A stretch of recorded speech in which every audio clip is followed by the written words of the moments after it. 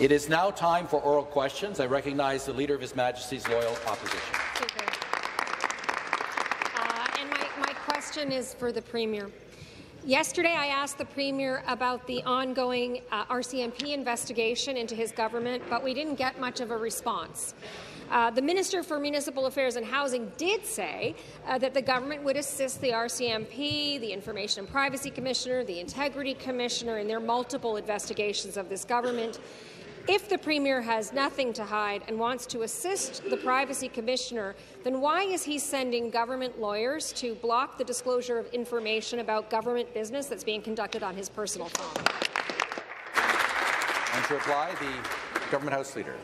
Thank you very much, uh, Mr. Speaker. As you know, of course, the Premier uh, follows all of the rules as set out by this House. Uh, with respect to, uh, and, uh, and set up by the government with respect to use of, uh, of phones and all other things, uh, Mr. Speaker. But look, at the same time, uh, later on today, uh, Speaker, we will have an opportunity to vote on the fall economic statement.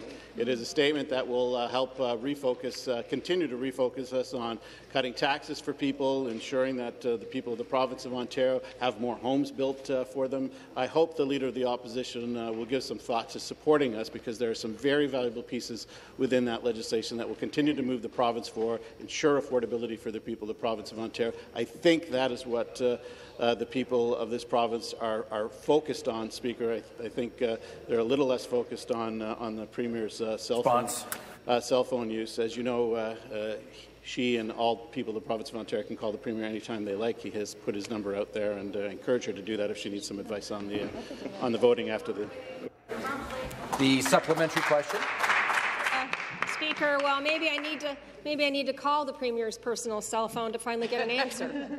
Uh, yesterday, the Toronto Star quoted anonymous Order. government staffers who said the former Minister of Municipal Affairs and his former Chief of Staff were not the real masterminds behind the sketchy $8.3 billion Greenbelt grab. They said, quote, everyone knows they were doing what they were told. So, to the Premier, was it the Premier who told them what to do? House Leader. Speaker, I mean, honestly, look, uh, the Integrity Commissioner already spoke about that. Uh, uh, and as I've said, we made a public policy decision which was based on building more homes for the people of the province of Ontario, full stop.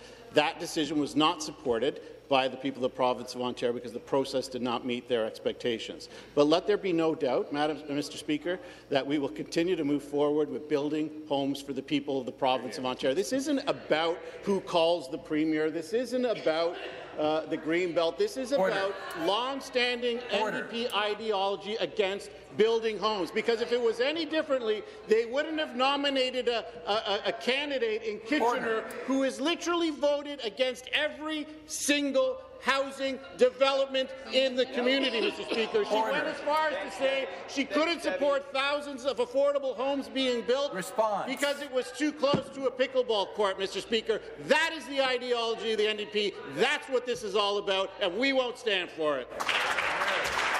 Order. The final supplementary. Speaker, uh, I really hope that the Premier will answer this time. I'm going to go back to the Premier. Uh, this government gave preferential treatment to insider Greenbelt speculators, enriching them to the tune of $8.3 billion at the public's expense without building a single new home. It included the Duffins Rouge farmland that was supposed to be protected, Speaker. The Conservatives' scheme undid those protections and made their insider friends 6.6 billion richer. Billion. The government's already three ministers down. So to the Premier, how many ministers will have to take the fall before he fesses up?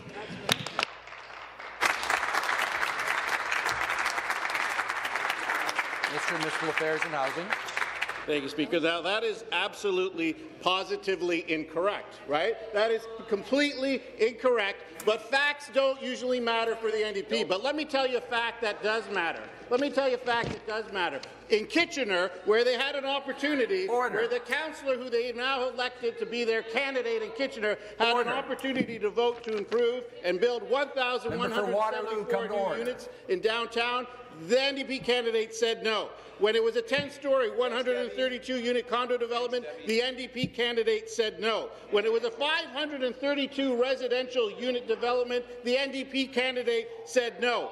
$600,000 to build affordable homes, the NDP candidate said no. 238 units for downtown, the NDP candidate said no. 211 units for downtown, the NDP candidate said no. She said yes to pickleball, no to thousands of people living in Kitchener. That's their star candidate, and that's why the people don't trust them. Stop the clock.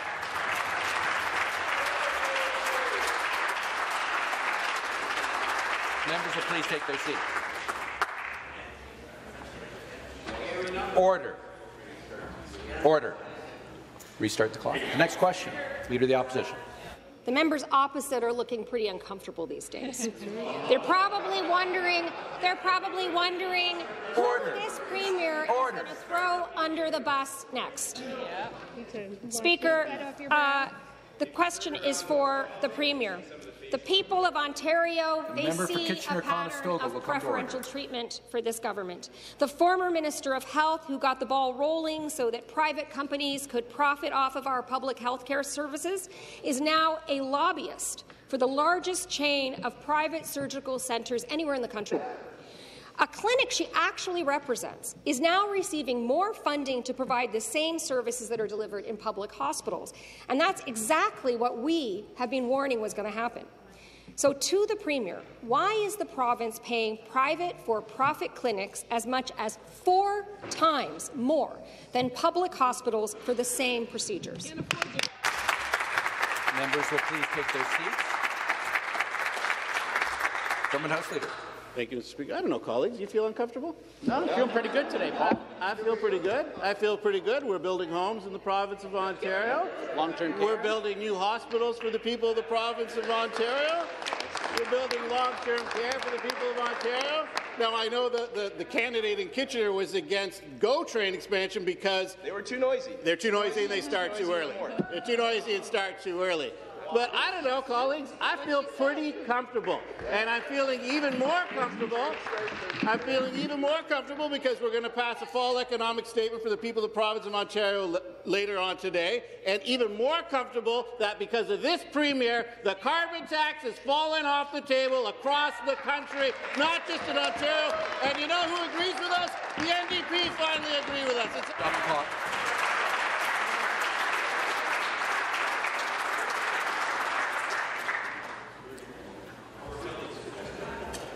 I'll remind the members to make their comments through the chair.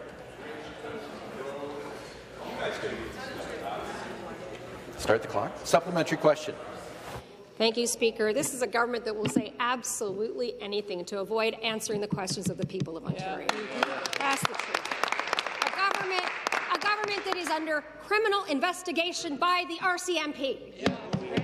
The former Minister of Health would have been responsible, Speaker, for transferring licenses for publicly funded surgical centres, surgical services to for-profit clinics. Under her watch, funding for one private for-profit surgical centre, Don Mills, has quadrupled since 2018, reaching 5.2 million by 2022-23. The same cataract surgery that costs $500 in a public hospital costs more than $1,200 at Don Mills. So to the Premier, and I hope he will answer this question, how is hemorrhaging public funds innovative or cost-effective health care? Tell us. To reply, the Premier.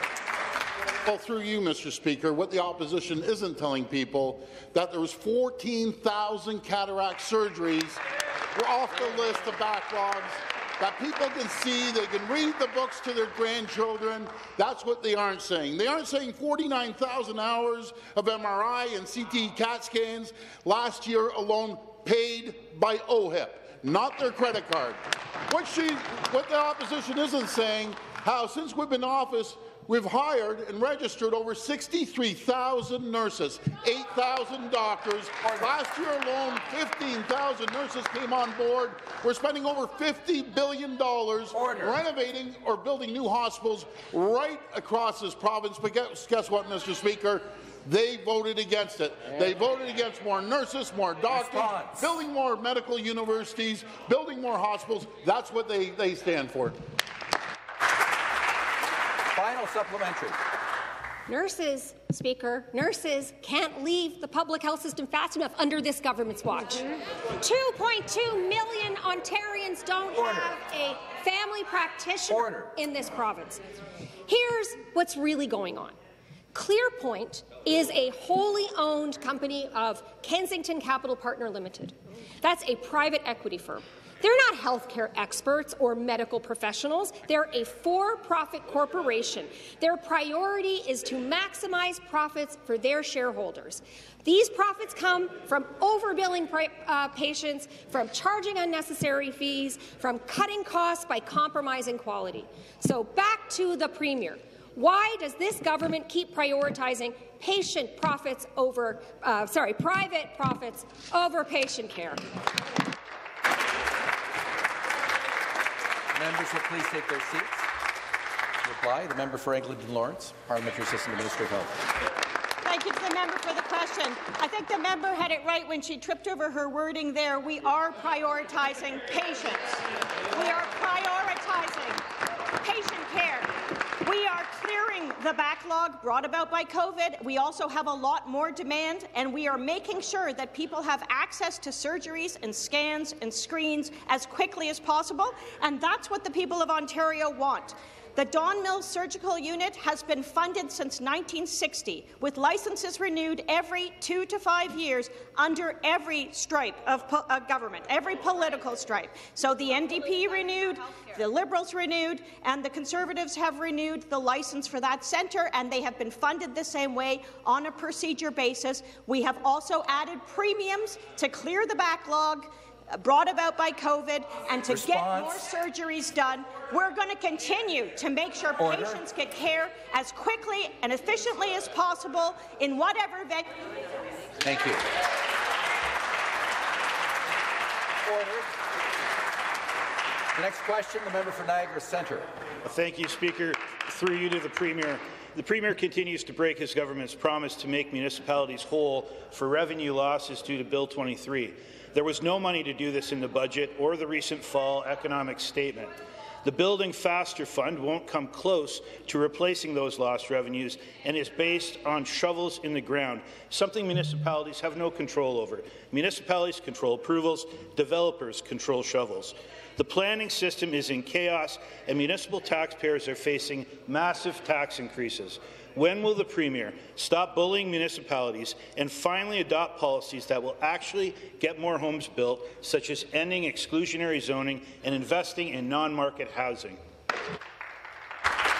The Minister of Municipal Affairs and Housing.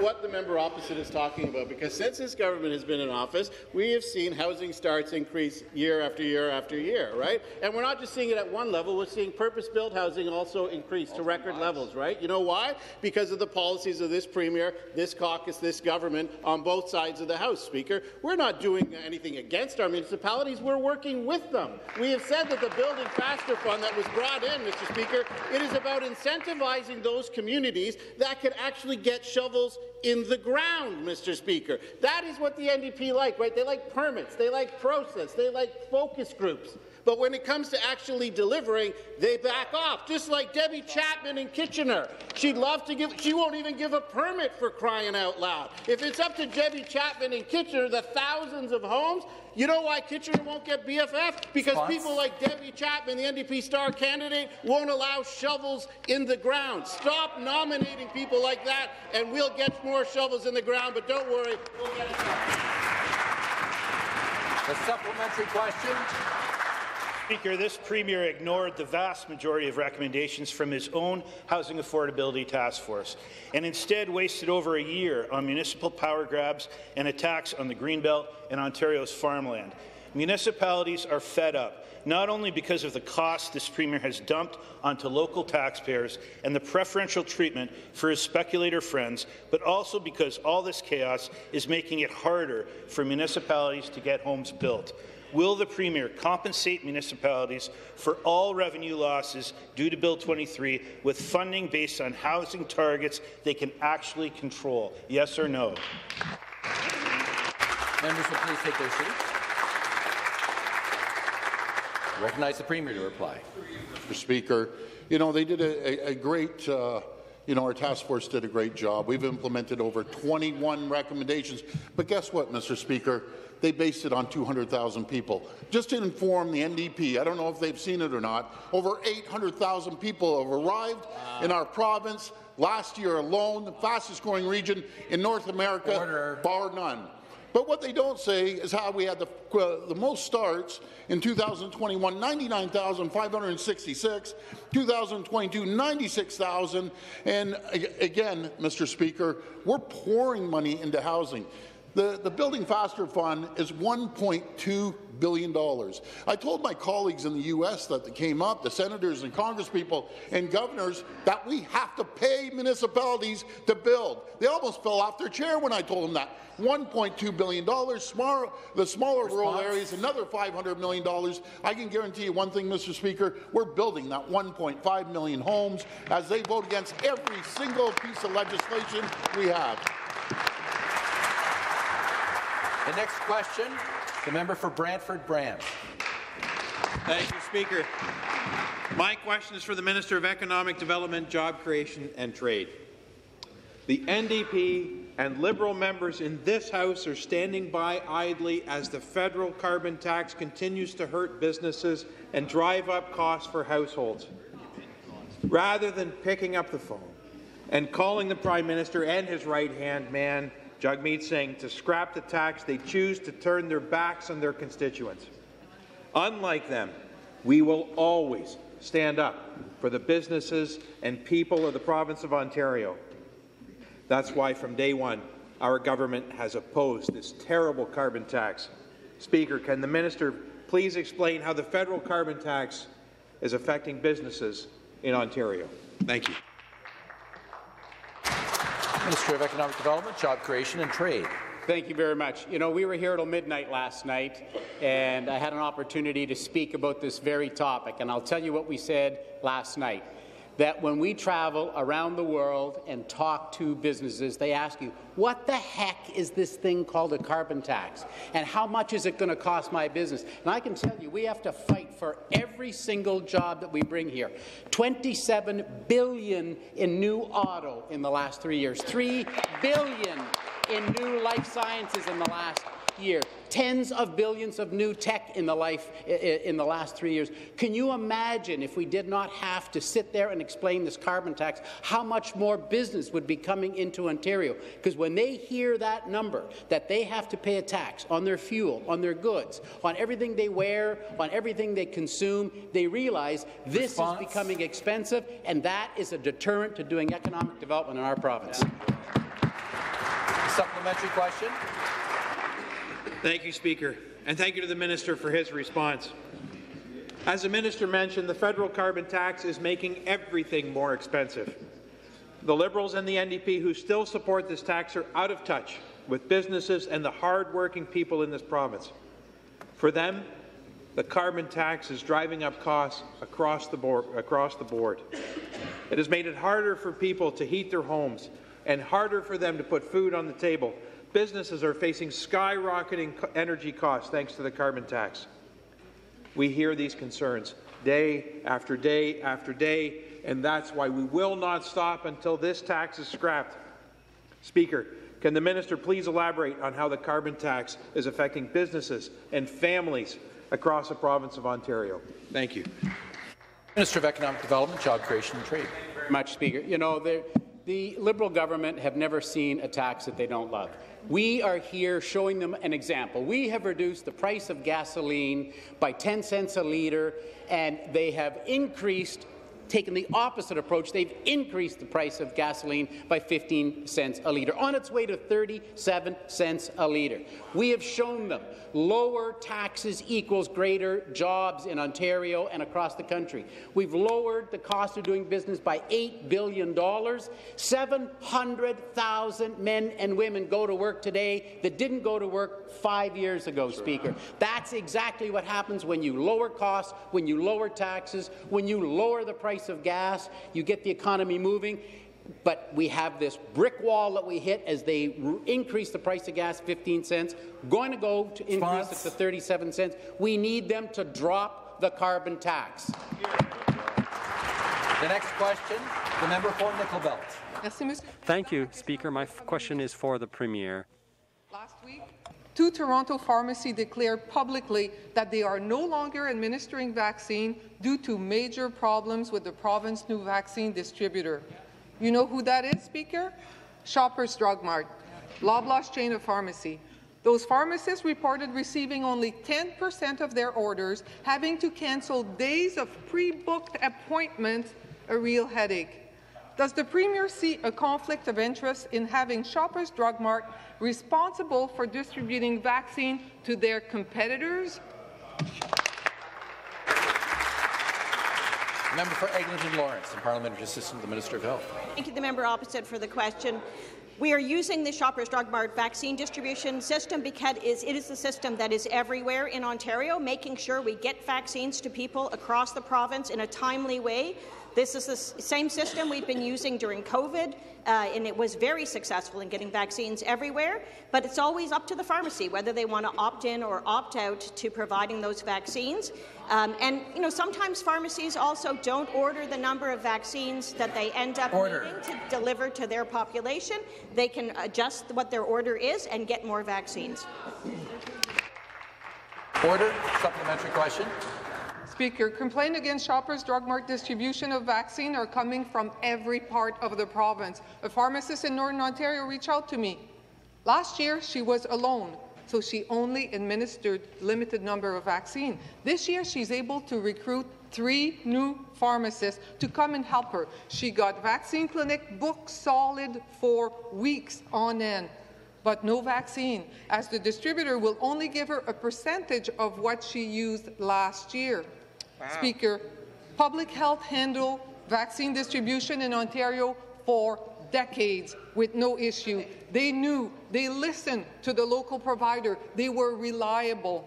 Does the Premier understand that handing over the distribution of vaccine over to their friends at Loblaws is having a drastic consequence, drastic consequences on the health of Ontarians? The members will please take their seats. The Premier. Realize it's a new vaccine, and if I could go to the factory and get all the vaccines we could for everyone in North America, I'd do it. But it doesn't work that way. And the largest distributor in the Order. province and in the entire country are the 4,000 pharmacies, which Shoppers Drug Mart has the best distribution centre anywhere in the country. That's the reason during the pandemic Order. we involved the pharmacies and we set records around the world. We we're vaccinating over 100,000 people a day thanks to the great partners in the pharmacies. It's convenient care close to home. That's what it's all about. Here, here. Thank you. The next question, the member for Carleton. Thank you, Mr. Speaker. Mr. Speaker, my question is for the Minister of Energy. We've spent a lot of time talking about the carbon tax since the federal, federal Liberal government announced they would be exempting only a very small percentage of Canadians from the tax, leaving Ontario out in the cold. One of the consistent themes of this debate is that there are better ways to pursue climate targets without jeopardizing affordability for hardworking families and individuals. Unfortunately, the federal government seems unwilling to listen to the feedback from the provinces. Speaker, through you, can the minister please share his views regarding the negative impact that the carbon tax and other reckless energy policies are having on all Ontarians? Thank you. I, the Minister of Energy. Thanks uh, for the question. Uh, when the Ontario Liberal Party was in power here in Ontario, we saw them make so many mistakes on the energy file. Admittedly, uh, after the fact, they announced that, uh, yes, we were wrong in making so many of these choices, driving up the cost of electricity in the province and driving up the cost of fuel. And we're watching in real time as their federal counterparts, the federal Liberal Party under Justin Trudeau, are doing the exact same thing. First, with the carbon tax, we warned them that it, would gonna, it was going to drive up the cost of everything, Mr. Speaker, and the Bank of Canada now confirms that that is the fact. We're seeing inflation rise, and we're seeing the cost of everything rise, Mr. Speaker, and now we're worried that the next shoe to drop from the federal Liberal government is on the way. It's called the Clean Electricity Regulations, Mr. Speaker. It is going to make our electricity across not just Ontario, but across the country more expensive and less stable. And I look to uh, give you some more details on the clean electricity regulations. Supplementary. Thank you, Mr. Speaker, and through you, thank you to the minister for his answer. It is very concerning to hear from the minister about potentially more damaging energy regulations that are under consideration by the federal government. I know that my constituents in Carleton are already concerned about the negative impact that the carbon tax is having on their household budgets. The carbon tax is making their lives more unaffordable as it drives up the price of fuel, groceries, and goods and services. They are also concerned to see that the federal government is only looking out for certain provinces and leaving others out in the cold. Speaker, can the minister please elaborate on the negative impact of additional energy regulations on Ontarians? Thank you. Thanks very much to the member from uh, Carleton. Federal Minister uh, Steven Guilbeault has shared draft regulations that are rigid and they ignore the need for flexibility that's being asked for by provinces, territories, and our electricity system operators based on their real-world experience. Here in Ontario, our independent electricity system operator, the ISO, has told my ministry that these draft regulations would slow the electrification of our economy by compromising the reliability and affordability of our electricity system here. And like with the carbon tax, the federal government is on the verge of making a costly and short-sighted mistake because they won't listen to their provincial counterparts, and more importantly, they won't listen to those who operate the systems. We hope that the federal government will work with us so that we can build a 100% clean grid while supporting reliability Response? and protecting ratepayers. Mr. Speaker, if the federal government won't listen to those who operate our electricity systems, we're in for more big problems in our country and in our province. The next question, the member for Toronto St. Paul's.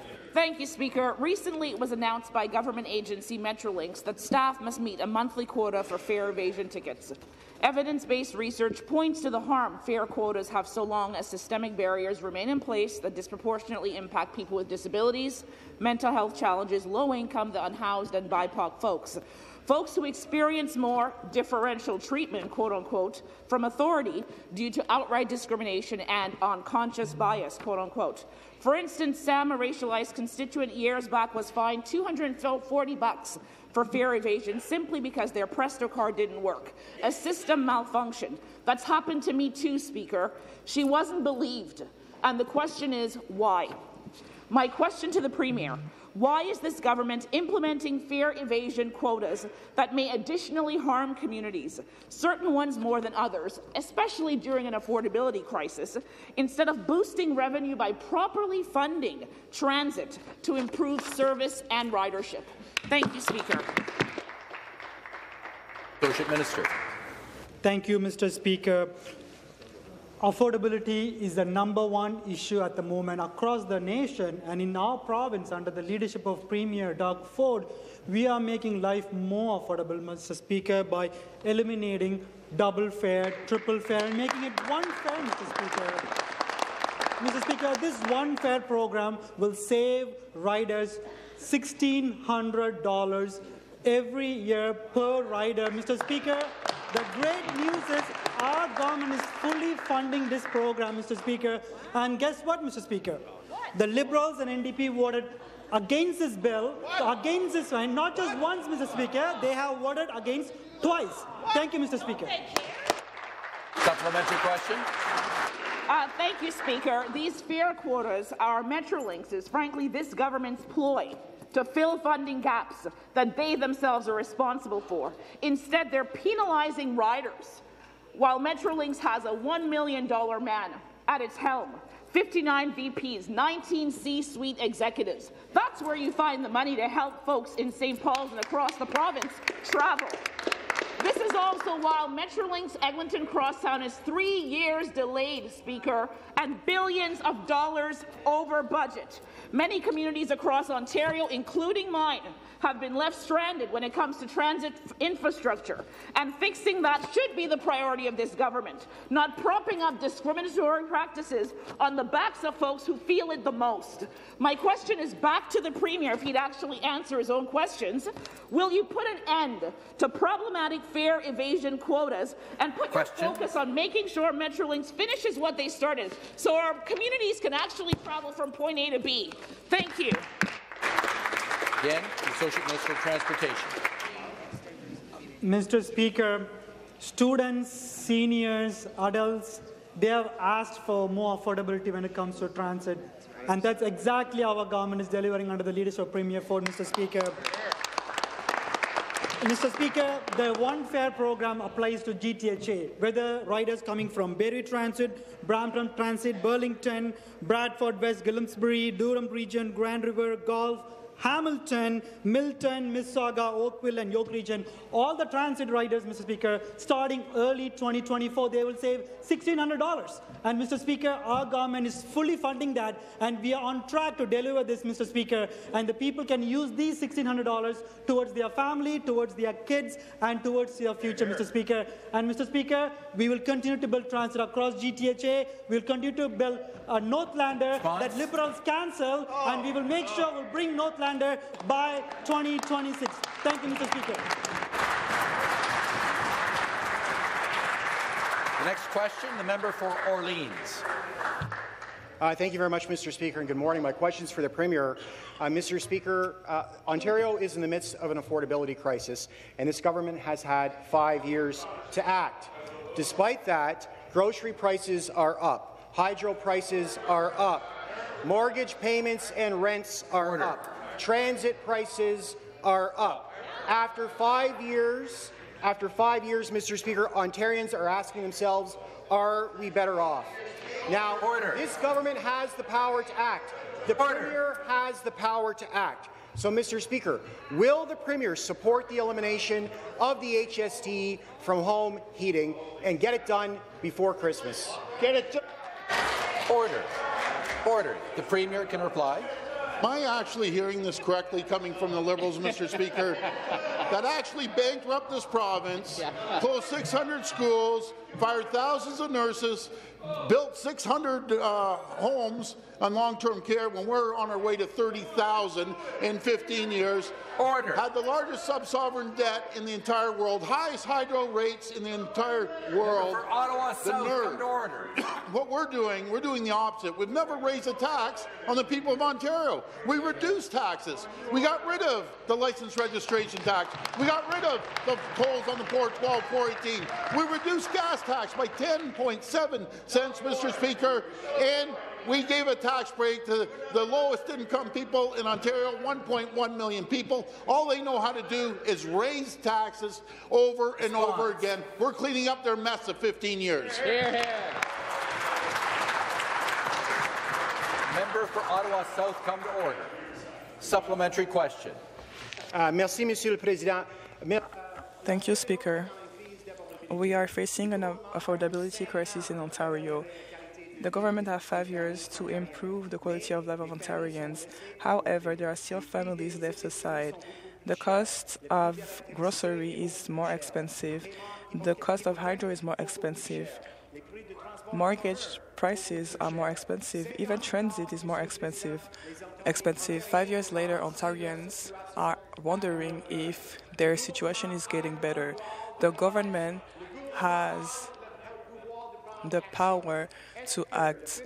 Will the Premier support the elimination of the HST on home heating and will they apply all those changes before Christmas so they can help Ontarian families? You know what was more expensive under their administration for 15 years? Ask the 300,000 people that lost their jobs under their administration. Then talk to the 700,000 people that can put food on their table now, that have great employment, and hundreds of thousands of more people will be employed by the end of our mandate. We've seen, we've seen businesses invest unprecedented amounts in Ontario more than anywhere in North America. We're actually leading North America in job creation, economic development. Mr. Speaker, just two months ago, we created more jobs in Ontario than all 50 states combined. That's what they need to do. They need to get on track and make sure that they cut the taxes, cut the carbon taxes, and start voting with us instead of against us, because you created the mess. Stop the clock.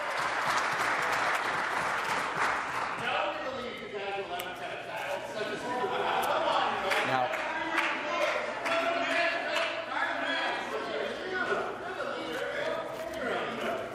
I'm going to ask the member for Ottawa South to come to order and the Minister of Municipal Affairs and Housing to come to order.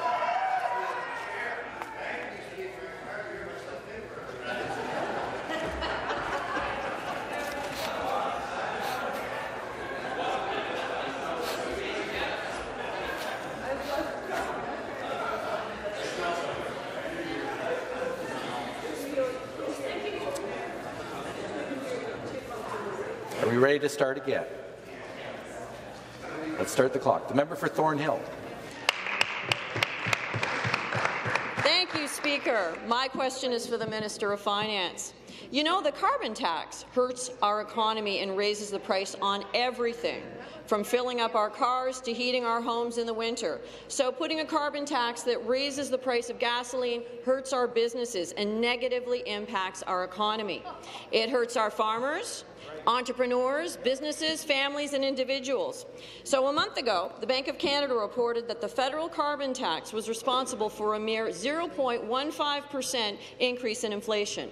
But now, the figures have changed. The governor uh, of the Bank of Canada now says that the correct impact of the carbon tax is actually four times higher. Speaker, can the minister please explain how this regressive tax creates economic hardship for all Ontarians? And to reply, the member for Oakville and parliamentary assistant. Thank you, Speaker, and thank you to the member for that great question. Our government knows that Ontarians are worried about making ends meet during these difficult times. We know that now is not the time for a punitive and costly tax that makes life more unaffordable for the people of Ontario and the people across this country. I'm, of course, referring to the federal carbon tax. Speaker, this tax is, as the member pointed out, driving up inflation and making all areas of life more expensive. It is making it more expensive to drive to the store to get food for your family. And once you arrive, Speaker, it's making the food at that store more expensive. This is why our government continues to urge the federal government and do the right thing and eliminate this regressive carbon tax. I wish the members opposite would join us in requesting the federal government cancel this tax now. Here, here. Supplementary question. Thank you, Speaker, and thank you from the member from uh, Oakville, the parliamentary assistant, and the Minister of Finance for their dedicated work. Uh, Speaker, the last thing the carbon, the last thing that Ontarians need is another tax. Unfortunately, the carbon tax is just that. So it's another tax that essentially drives up the prices of everything. And we know that the carbon tax is doing nothing more than making life more expensive for people in our province and across this country. So we need all members of this legislature to fight for Ontario's interest and call on the federal government to treat Ontario with respect when it comes to coming, providing an uh, exemption for the carbon tax. Speaker, can the parliamentary assistant please elaborate on how the federal government's carbon pricing policy negatively impacts all Ontarians? With Oakville, parliamentary assistant, Minister of Finance. Question from the member opposite, and the member is correct in saying this is a serious issue affecting all Ontarians and Canadians. And I agree, as you mentioned as well, about the Bank of Canada does not fully address the negative effects of this tax. Even the readjusted calculation by the Bank of Canada considered only the direct impact of the carbon tax on three specific products, gasoline, heating oil, and natural gas. The federal government is failing to recognize that the rising costs of consumer goods will quickly become unsustainable. Our government opposed the carbon tax from the start, and we will oppose this useless tax until it is finally removed. There are two approaches to take in this particular issue, Speaker. Either you cut taxes, like we've done with the gas tax, or you increase taxes, like the federal government has done. We ask the members opposite to pick a side. Thank you, Speaker. Thank you very much. The next question, the member for London West. Uh, thank you, Speaker. My question is to the Premier. Speaker, under this government's watch, we saw a public university go bankrupt, and now we have a new report highlighting the widespread financial fragility of the sector. The report has confirmed that this government provides the lowest per-student funding in the country uh, for our colleges and universities. Compared to the rest of Canada, Ontario's per-student funding is just 44 percent for college college students and 57 percent for university students. Speaker, will this government commit today to bringing Ontario's per-student funding in line with other Canadian provinces? To reply, the Minister of Colleges and Universities. Thank you, Mr. Speaker, and thank you the member for that question. I am excited to say that after months of hard work, the Blue uh, Ribbon Panel report was released yesterday. And I want to thank the members of the panel for their diligent work and also thank Dr. Alan Harrison for his leadership. As we review the report and begin to uh, develop and implement solutions for the future of the sector, know that our top priority is, and has always been, students. But we also know the value of an education in Ontario, which is why when a student enrolls at any of our colleges and universities, they know the education they will receive is strong and among the best in the world. Over the coming weeks, we will be focused on addressing the financial sustainability, institutional accountability, and how we as a collective can support our students today and into the future. My job is to ensure that post-secondary is sustainable for years to come so that young folks like this in the crowd today have post-secondary in the future. Supplementary question. Speaker, uh, under this government, provincial grants now account for just 30 percent of university operating revenues, which is failing students and putting the sector at serious risk. The University of Waterloo will end this year with a $15 million operating budget deficit. Queen's University has announced a deficit of $63 million. Wilfrid Laurier, $11 million. The University of Guelph has reported budget deficits for three consecutive years. Deficits mean program cuts and hiring freezes, hurting students and undermining the quality of university education. When will this government increase post-secondary education operating funding to prevent more universities from falling into deficit or even bankruptcy? Again, the Minister of Colleges and Universities. Well, thank you, Mr. Speaker. And the long-term financial sustainability of our post-secondary institutions is a top priority moving forward. But as I mentioned before, the sustainability and viability of our sector is a shared responsibility. I have been clear that institutions will also need to review their spending and operating practices for any increase in funding to be considered. When our government invests over $5 billion annually of taxpayer dollars in operating funds for our colleges and universities, we need to ensure that that money is being spent wisely. That doesn't account for the billions in tuition, including over a billion through OSAP, that students and their families spending, spend on education every year. So as we review the report, we will be sure to review all recommendations holistically to ensure the path forward reflects, reflects the collective respectively. Thank you. The next question, the member for Kanata, Carleton. Thank you, Speaker. This government knows things that it won't tell the people of Ontario. They know that the vast majority of Ontario households are better off with a carbon price. Not only will it help, not only will it help keep our world. Stop the clock. Stop the clock. Stop the clock.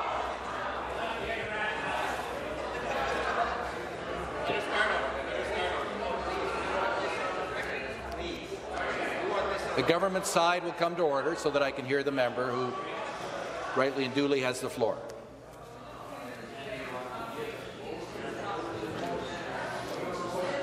Order. Restart the clock. Member for Kanata Carleton. This government knows that the vast majority of Ontario households are actually better off with a car price on carbon. Not only, not Order. only does it keep Order. Our world habitable with the climate I gather there's a difference of opinion in the House on the matter that's being raised, but the member has every right to ask the question without being drowned out by the government side. If it persists, I'll start calling you out by name.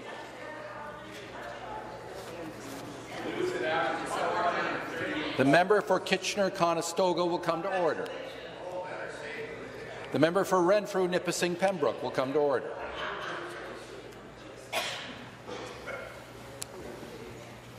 Restart the clock. Member for Kanata Carleton. They know that the vast majority of households in Ontario are better off with the price on carbon. Not only will it keep our world habitable, but with the climate action rebate, it actually means more money in their pockets. This government knows that 270,000 households in Ontario use heating oil and that they are eligible for the climate price exemption.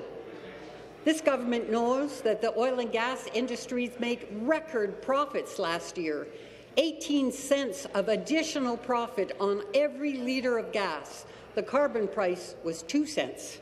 This government knows that they have the power to do something rather than just point fingers. We put an amendment to Motion 70 forward to cut HST and Question. home heating. The government rejected it. Mr. Speaker, when will the Premier tell the people of Ontario the truth? Members will please take their seats. I'm going to ask the member to withdraw the unparliamentary comment at the end of her question. Come respect to the member of Kanata Carleton, when I was out there door knocking, and, and granted, I congratulate you, you won by 600 votes in a by-election, and God bless her, I didn't hear her ever say when she was door knocking, the carbon tax is good. Never heard that once. But I will do you a favor. I will call your riding right across the board and say you believe in the carbon tax. You believe in the 15 cents uh, additional on, on a litre of gas. You believe that the, the clothes that these students are wearing have gone up because of the carbon tax. The food they're eating is because of the carbon tax. Everything that moves is based on the carbon tax. It is killing this country, it's killing this province, it's making it unaffordable, and that's the reason why every single premier two weeks ago agreed to kill the carbon tax.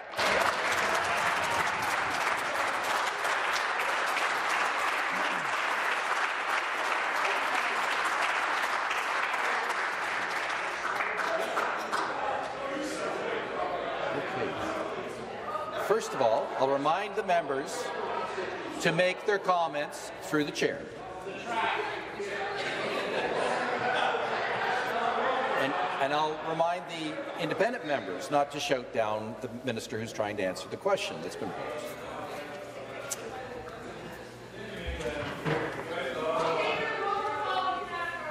Order. Order. Restart the clock. The supplementary question. Speaker, we put forward an amendment to Motion 70 to cut HST on home heating fuel, and the government rejected it. They will take endless hours to point fingers at other levels of government when they actually have tools to help the people of Ontario today. With we know why won't this government do what is within their power to actually improve affordability for the people of Ontario? And to reply, Minister of Energy. Mr. Speaker, it's, it's unbelievable what we're hearing this morning uh, from the Liberal Party of Ontario. Uh, the Liberal Party of Ontario, at every opportunity, has voted in support of a carbon tax, Mr. Speaker, uh, a provincial carbon tax and a federal carbon tax that the parliamentary budget officer has said is costing families in Ontario and Canada more. The Bank of Canada the Bank of Canada. It's unbelievable. It's a comedy show over here from the Liberals today, Mr. Speaker, especially the front bench. It's like the Muppet Show with Statler and Waldorf over here. It is unbelievable that they are trying to fool the people of Ontario into believing that they want to see the carbon tax reduced when at every opportunity they voted for it to go higher. It's on its way from 14 cents a litre on gasoline to almost 38 cents Response? a litre on gasoline by the end of the month. It's costing every Ontarian more now than before, and it's only going to get worse.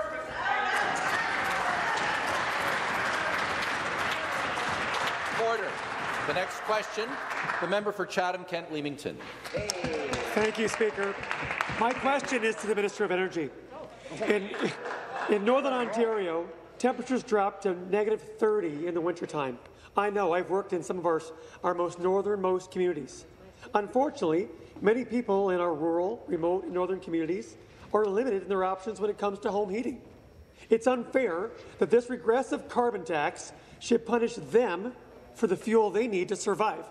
Sadly, because of the actions taken by the federal Liberal government, we've seen how this carbon tax is creating two classes of Canadians, those who pay the carbon tax and those who don't have to.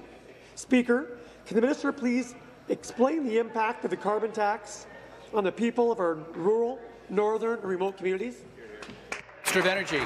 Speaker, uh, there's a common sense member right there from down in southwestern Ontario asking a question because he understands how much the carbon tax is hurting people across Ontario, where the Ontario Liberal member moments ago just said to this House that the carbon tax is good for the people of Ontario. It's good for the people of Ontario, and they're making money because of the carbon tax, Mr. Speaker. It's absolutely ludicrous. We all know, we all know that the carbon tax is hurting the people of Canada. And that's why the federal government, that's why the federal government has adjusted their position on the carbon tax, Mr. Speaker.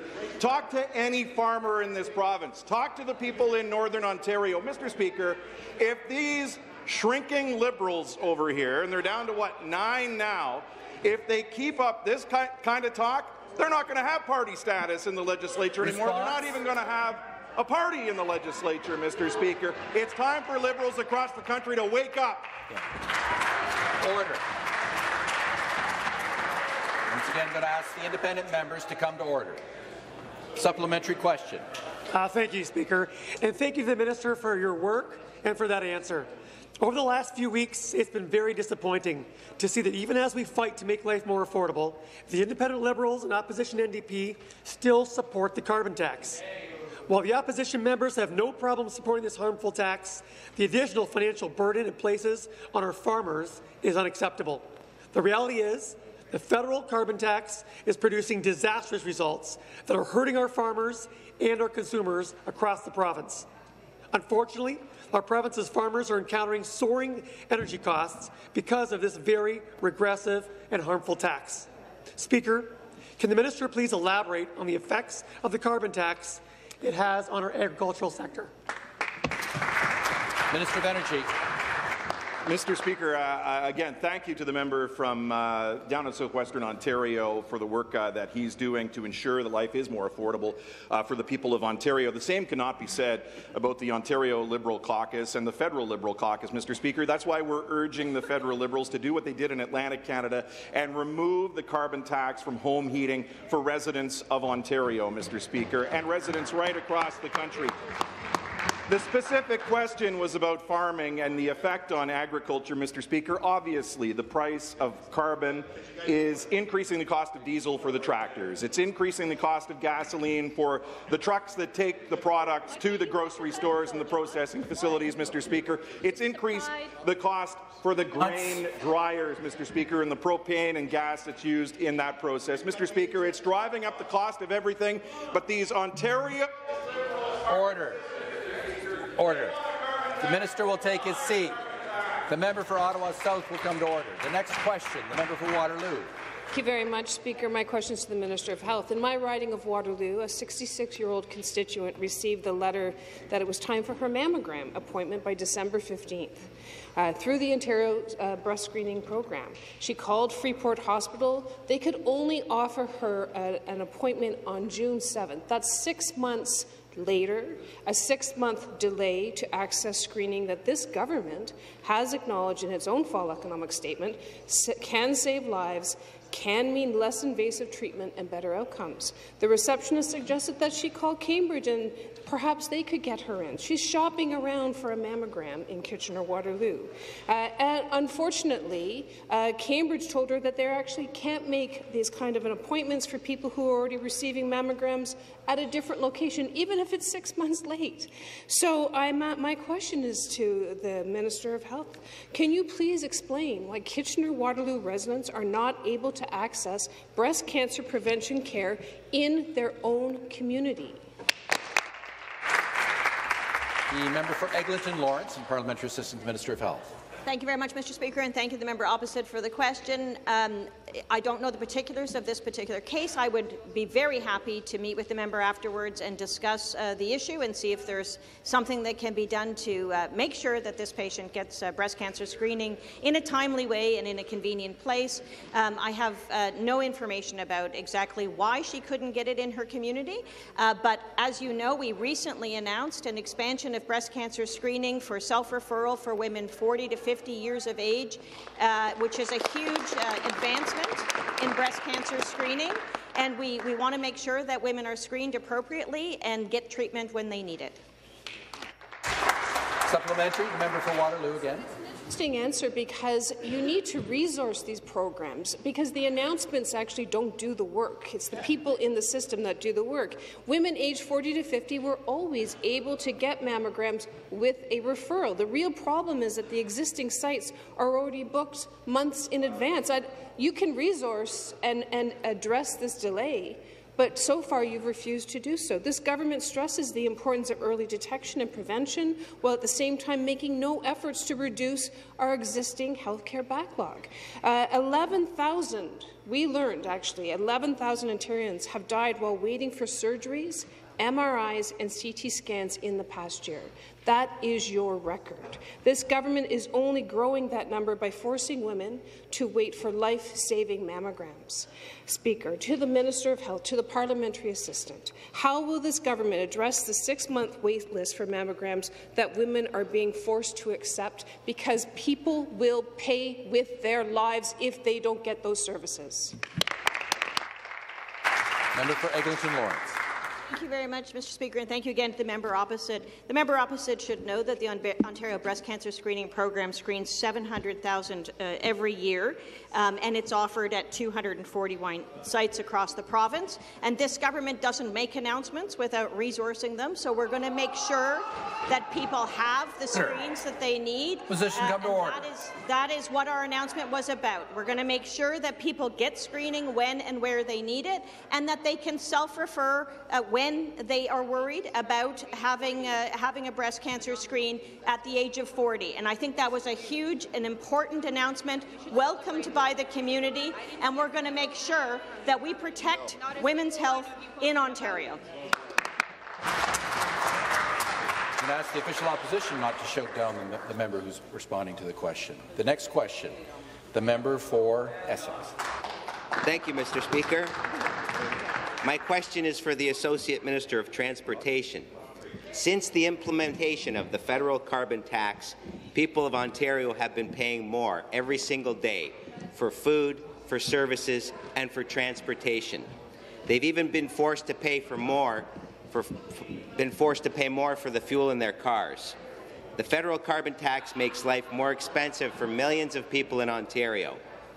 Business owners in my riding of Essex have told me that Liberal politicians and NDP politicians who support the carbon tax are out of touch with reality.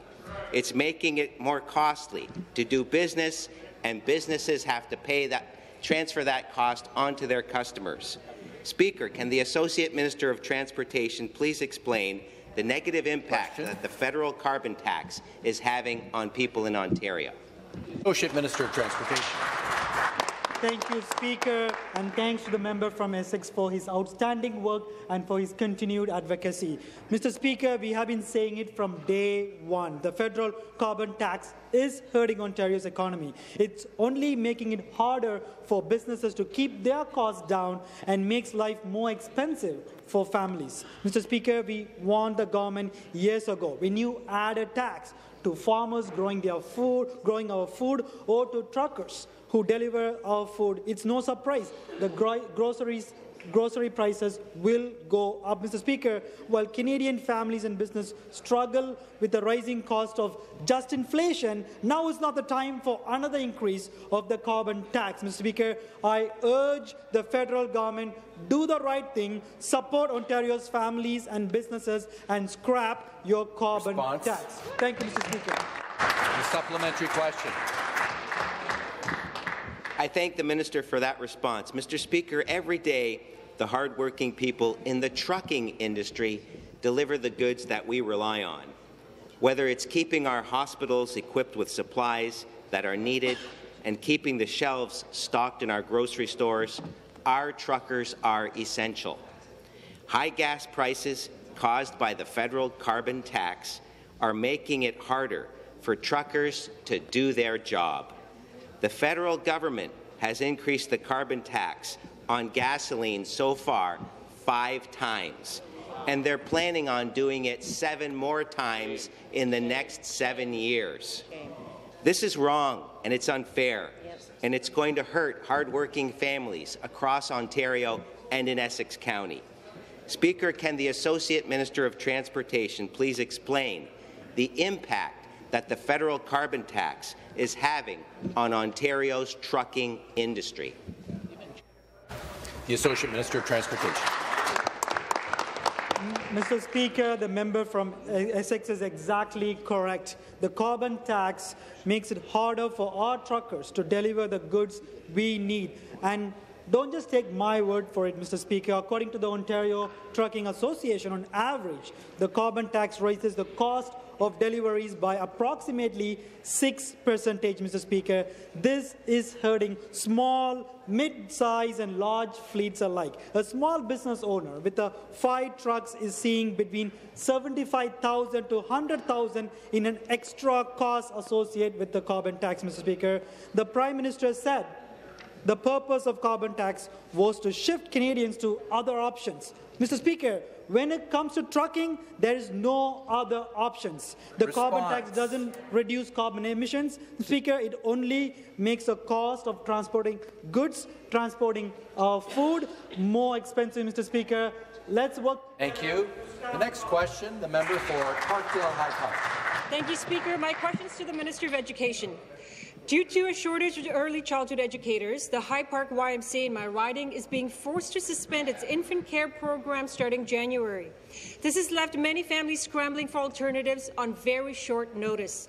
The staffing crisis in the childcare sector, driven by low wages, is a problem this government has been warned about for years.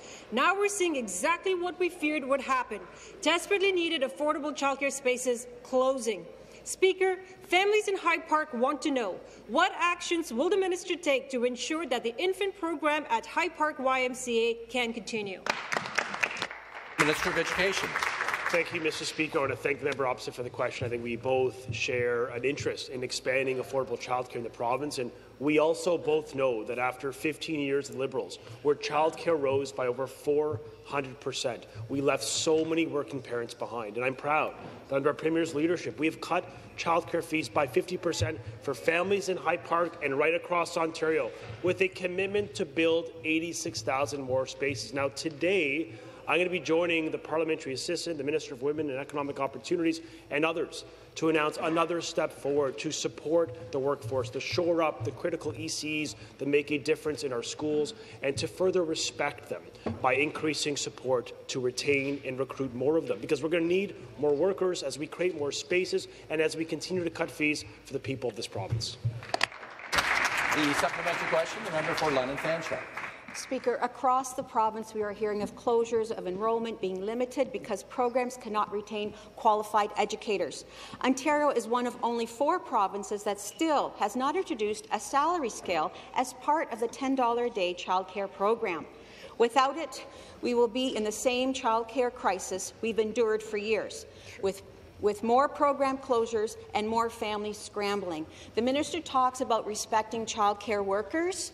Childcare workers need respect. We're absolutely correct. But they want to know when will this government finally address the root of this crisis and implement a salary scale that they've been asking for, starting at $30 an hour for registered RCEs and $25 an hour for all other childcare workers in the sector so you can actually fill the spaces that you're building with workers and respect them with the wages they deserve. And again, to reply, the Minister of Education. Uh, Mr. Speaker, when we talk about the concept of respect, we have to remind ourselves that New Democrats urged the government to sign a deal with the federal government that would have left 70,000 parents out of the deal because you didn't want to respect parents who had their kids in for-profit childcare. We want to talk about respect.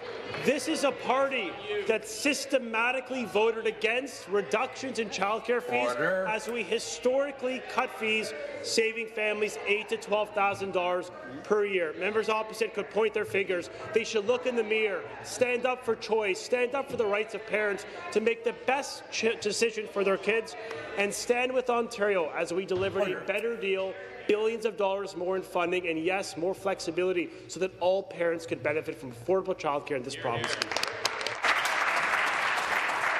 That concludes our question period for this morning. Pursuant to standing order